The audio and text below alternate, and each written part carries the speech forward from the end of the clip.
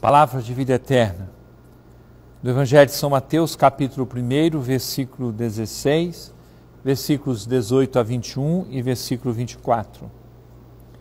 Jacó gerou José, o esposo de Maria, da qual nasceu Jesus, que é chamado Cristo. A origem de Jesus Cristo foi assim. Maria, sua mãe, estava prometida em casamento a José e antes de viverem juntos, ela ficou grávida pela ação do Espírito Santo. José, seu marido, era justo e não querendo denunciá-la, resolveu abandonar Maria em segredo. Enquanto José pensava nisso, eis que o anjo do Senhor apareceu-lhe em sonho e lhe disse: José, filho de Davi, não tenhas medo de receber Maria como tua esposa porque ela concebeu pela ação do Espírito Santo. Ela dará à luz um filho e tu lhe porás o nome de Jesus, pois ele vai salvar o seu povo dos seus pecados. Quando acordou, José fez conforme o anjo do Senhor havia mandado. Caríssimo irmão, caríssima irmã, hoje celebramos a solenidade de São José, esposo da Virgem Maria e padroeiro da igreja. Nós celebramos São José olhando para esta figura escolhida de uma forma tão carinhosa, tão especial pelo próprio Deus.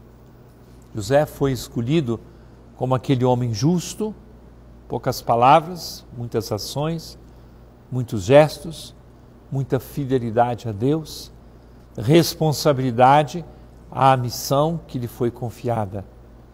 Este é José, a quem foi entregue a responsabilidade de cuidar de Maria e de Jesus. Há muita coisa a aprender de São José. Começo por isso. Poucas palavras, muitos gestos, muita ação. Várias vezes o Evangelho nos indica que ele fez de acordo com o que o anjo do Senhor lhe mandou. Assim agiu São José. Fazer as coisas segundo a vontade de Deus. José é chamado justo. O justo na Bíblia não é apenas aquele que pratica a justiça chamada distributiva, dar o seu ao seu dono. O justo na Bíblia é o oposto do ímpio. O ímpio é aquele que não vive a lei de Deus. O justo é aquele que é fiel a Deus. Terceira coisa, não menos importante, ter coragem de ter papel secundário. Nem sempre estamos à frente de todas as coisas em nossa família, no trabalho ou na igreja. Ter a capacidade de ser, como as pessoas dizem, um figurante, mas um figurante que é indispensável. Secundar com a nossa palavra, com os nossos gestos, com o nosso apoio o bem que as outras pessoas podem fazer.